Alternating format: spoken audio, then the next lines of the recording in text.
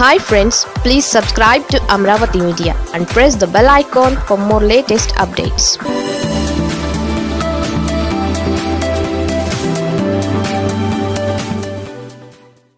Jagan లేఖలో రాసిన విషయం విదేశీ పరిశోధకులే బయటపెట్టారు.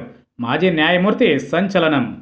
కొందరు న్యాయమూర్తుల వ్యవహార శైలిపై ఫిర్యాదు చేస్తూ సుప్రీంకోర్టు ప్రధాన న్యాయమూర్తికి ముఖ్యమంత్రి జగన్ లేఖ రాయడం ఏమాత్రం తప్పు కాదని ఉమ్మడి ఆంధ్రప్రదేశ్ అలహాబాద్ హైకోర్టుల విశ్రాంత న్యాయమూర్తి జస్టిస్ దంతులూరి శ్రీనివాస రంగనాథ వర్మ స్పష్టం చేశారు. ఇంట్లో వాళ్ళు తప్పు చేసినప్పుడు ఇంటి పెద్దకే ఫిర్యాదు చేస్తారు. ఇది తప్పు ఎలా అవుతుంది అని ప్రశ్నించారు. తమపై ఫిర్యాదులు చేయడానికి వీల్లేదనేందుకు న్యాయమూర్తులేమీ చట్టాలకు అతీతులు కారన్నారు.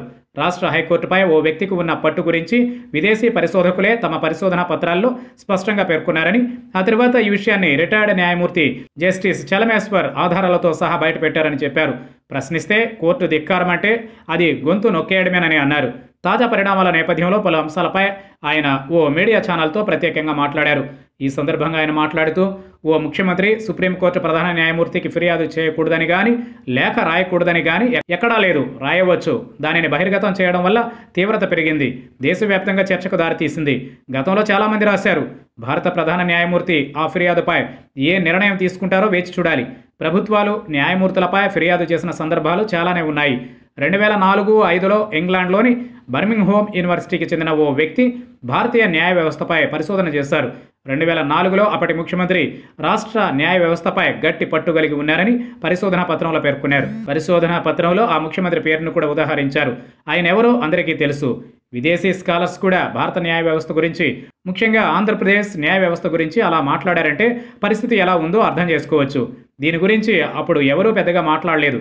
నేను అప్పుడు హైకోర్టు న్యాయమూర్తిగా ఉన్నా అని ఆయన అన్నారు. న్యాయమూర్తులేమీ చట్టానికి అతీతులు కారని వారికి పరిధులున్నాయని అన్నారు. అతీతులమన్న రీతిలో న్యాయ వ్యవస్థ వ్యవహరించరాదని అన్నారు. కోర్టు ధిక్కార చట్టాన్ని ఇష్టం వచ్చినట్లు వాడరాదని అలా చేస్తే ప్రశ్నించే వ్యక్తులు ప్రభుత్వాల గొంతు నొక్కేయడమే అవుతుందని రంగనాథ వర్మ అన్నారు. కోర్టు ధిక్కారం క్రింద క్షమాపణ చెప్పలేదని ప్రశాంత్ భూషణ్కు రూపాయి జరిమానా విధించిన అంశాన్ని ఆయన ప్రస్తావించారు. కోర్టు ధిక్కార చట్ట ప్రయోగం సమస్యకు పరిష్కారం కాదని అసలు సమస్య ఏంటి? ప్రభుత్వం ఎందుకు ఫిర్యాదు చేసింది? ఆరోపణలు నిజమైనవేనా? అన్న అంశంపై లోతుగా విచారణ జరపాలని తెలిపారు. ఆరోపణలకు ఆస్కారం రాకుండా చూసుకోవాలన్నారు. ఆ దిశగా సంస్కరణలకు శ్రీకారం చుట్టాలని అంతే తప్ప ధిక్కార చర్యలు పరిష్కారం చూపవని పేర్కొన్నారు.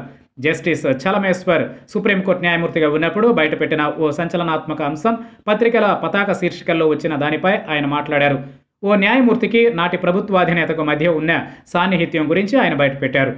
న్యాయమూర్తుల నియామకం విషయంలో సుప్రీంకోర్టు సీనియర్ న్యాయమూర్తి ఒకరు లేఖ రాశారు. ఇదే అంశానికి సంబంధించి నాటు ప్రభుత్వాధినేత నుంచి కూడా సుప్రీంకోర్టుకు లేఖ వచ్చింది. రెండు లేఖల్లోని సారాంశం ఒకటే. అందులోని వాక్యాలు పదాలు దాదాపు ఒకటే. అంటే ఆ లేఖ ప్రభుత్వాధినేత నుంచి ఆ సుప్రీంకోర్టు న్యాయమూర్తికి వచ్చిందా? లేక సుప్రీంకోర్టు సీనియర్ న్యాయమూర్తి నుంచి ఆ ప్రభుత్వాధినేతకు వచ్చిందా? ఎవరి నుంచి ఎవరికి వెళ్ళింది? ఈ వ్యవహారాన్ని ఎలా భావించాలి? దీన్నే కదా జస్టిస్ చలమేశ్వర్ ప్రశ్నించారు. న్యాయమూర్తి ఎప్పుడూ తన అభిప్రాయాన్ని స్వతంత్రంగా రాయాలి. కానీ అటు ప్రభుత్వాధినేత ఇటు సీనియర్ న్యాయమూర్తి లేఖలు మక్కీకి మక్కీగా ఉన్నాయి. దీనిని ఎలా భావించాలి? అలా సుప్రీంకోర్టు న్యాయమూర్తి నాటి ప్రభుత్వాధినేత సన్నిహిత సంబంధాలు చాలా ప్రశ్నలు సందేహాలను రేకెత్తించాయి. ఇలాంటి వాటికి అవకాశం ఇవ్వకుండా న్యాయ వ్యవస్థ స్వతంత్రంగా పనిచేయాలన్నదే ప్రజల ఆకాంక్ష అని రంగనాథ వర్మ చెప్పారు.